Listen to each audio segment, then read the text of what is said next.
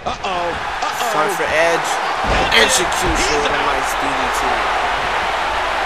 And what everybody has been waiting for. Spear! Spear!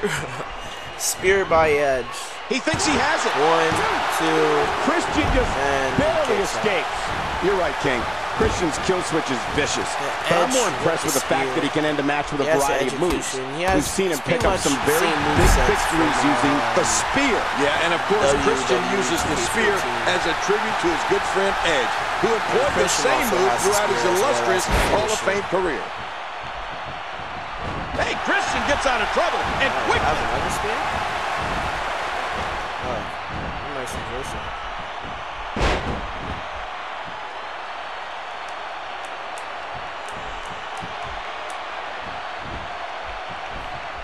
Puts him down with a nice neck breaker.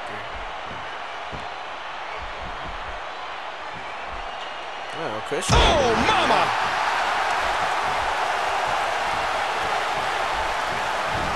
Uh oh. What a counter by Ed!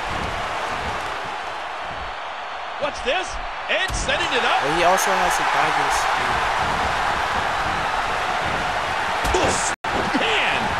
And you Edge heads for the top rope.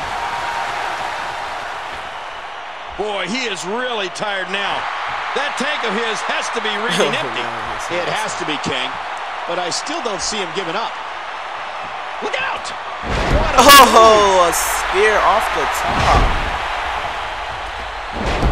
That's, Here that's we see it one more time. His shoulders are down. Two, two. three. You know, to be Edge gets the win. That's a nice diving. Well, let's take a look at some of those. We got a couple of highlights here. Oh, I can't believe what we saw in that match. Let's play some of the highlights back. I can't believe what we just saw. Highlight after highlight. Let's look at some of them right now. Well, guys, I'll see you next time with Christians. Here is your winner, Edge. Wow, he just never got out of the starting gate. What an impressive victory that was.